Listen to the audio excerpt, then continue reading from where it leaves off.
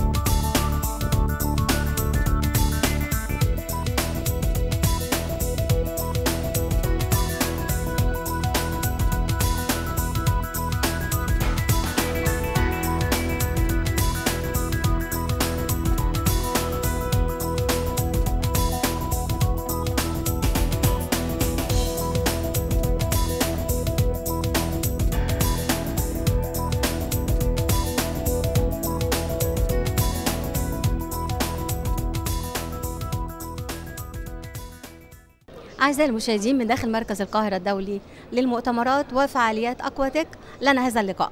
نتعرف على حضرتك؟ أنا المهندس عادل الدهيبي صاحب شركة الدهيبي للاستيراد والتصدير اللي حضرتك واقفة فيها دلوقتي. أهلا بيك. أهلا. مهندسه سوير مديرة مبيعات مكتب الدهيبي للاستيراد والتصدير. أهلا بيكم. المشاركة رقم كام يا فندم؟ آه، إحنا شاركنا في أكتر من معرض لكن هي المشاركة الأولى في في معرض Aquatic لكن شاركنا في معارض تانية. متخصصة. المشاركة الأولى أيوة إيه الإضافة اللي أثبتت يعني من خلالها وجودك؟ إحنا آه، عارضين آه، في ال في ال في السنة دي هنا في المعرض عارضين منتجات كتير مختلفة آه، إحنا موزعين معتمدين لشركة Grundfos مقدمين تقريبا كل ال- الترومبات اللي بتنتجها شر- شركة Grundfos آه، من ترومبات ميه حلوة من ترومبات صرف صحي من ترومبات أعماق من ترومبات dosing آه، آه، pumps و يعني آه، أعتقد إن كل الترومبات اللي بتنتجها شركة Grundfos إحنا عارضينها وبنشتغل فيها الجهات المستهلكة مين يا فندم؟ كتير قوي يعني آه، فنادق سياحية قرى سياحية مصانع آه، آه، هيئات حكومية زي هيئة الصرف الصحي ومياه الشرب تقريبا لا يخلو مكان من استخدام الترومبة بتاعتنا. أهمية مثل هذه المعارض والإستفادة منها. هي طبعا ليها أهمية كبيرة في إن إحنا كشركة إن هي بتكبر كل يوم بيبدأ في علاقات كبيرة جدا بنقدر نكونها من خلال المعرض. آه، في ناس كتير بتبدأ تعرفنا وده بيبقى حاجة كويسة جدا لينا كماركتينج آه، بالنسبة لنا. وده كوضع شركة بيتحسن كتير جدا جدا بالمعارض. دي معظم. معظم المستثمرين بيعانوا من الأزمة العالمية الاقتصادية. آه يعني المعاناة بقى شكلها إزاي من آه يا رب ما يكونش في معاناة. آه، لا هو الحمد لله هو أكيد أثرت الأزمة الاقتصادية علينا ولو حتى بشكل نسبي.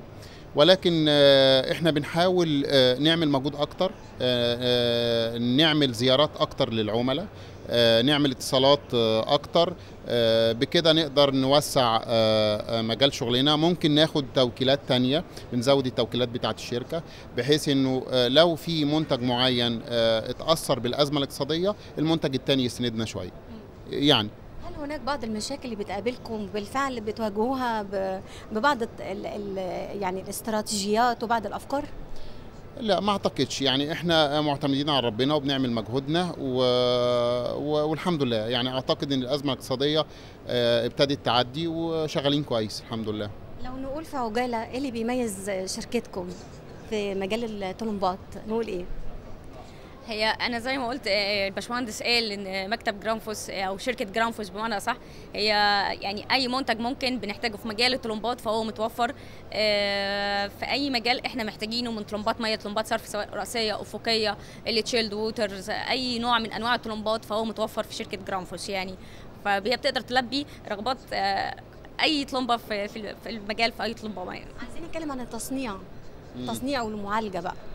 لا هو أنا أنا بصراحة ما مش بصنع الترومبات ولكن بنعمل في بعض الأحيان بنجيب بعض الأجزاء من الشركة اللي إحنا آه، آه، وكيل ليها آه، وبنجمع عليها بعض الحاجات المحلي. لكن تصنيع كامل للترومبة لا ما بنصنعش بنصنع أجزاء. لكل طلمبه بيئتها الخاصة أو تربتها الخاصة طبعا لأنه آه، آه، آه، مثلا ترومبة الصرف الصحي بنستخدمها في في في مجال الصرف الصحي ترومبات المياه الحلوة بنرفع بيها أو أو بنستخدمها في مجال زي زي الق- ال- القرى السياحيه والمصانع والفنادق. بنستخدم فيها ترومبات الصرف الصحي ترومبات المياه الحلوة في محطات التحلية بيحتاجوا ترومبات أعماق. لا كل كل كل مجال وليه ترومبته. مقاومات الطلمبات ال- المرتبطة بقى بالتربة الزراعية المصرية. بيبقى لها مقاومات خاصة؟